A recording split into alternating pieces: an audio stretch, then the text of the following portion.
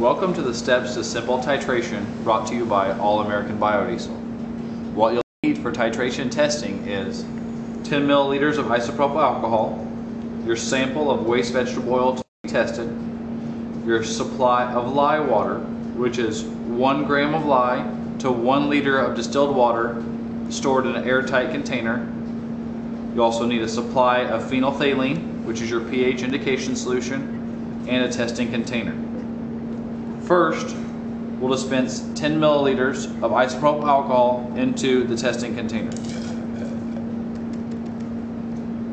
Next, we'll add three drops of phenolphthalein.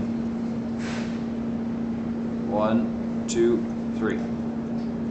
Next, we're going to add lye water in one drop increments to cancel out any acids that are in the alcohol. One, two, three, four, there's five. This is the color we're looking for. The hot pink color. Next, we'll distribute one milliliter of waste vegetable oil that's for testing.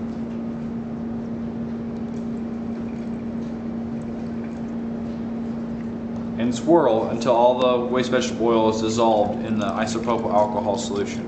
Notice the color change.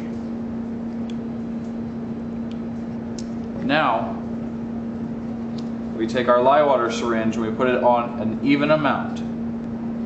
Nine, eight, seven, six. Which number is arbitrary? Just needs to be on one that you can start your calculations from. Here we've chosen 9. Each small dash on the syringe is worth 0.2 milliliters on your titration testing chart.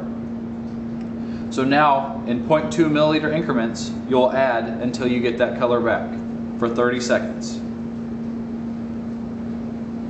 0.2.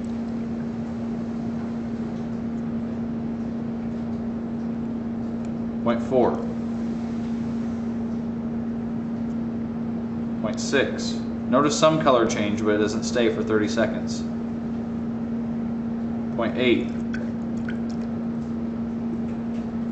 And that's the color we're looking for. And once we verify that it stays that color for 30 seconds, we can cross-reference our chart.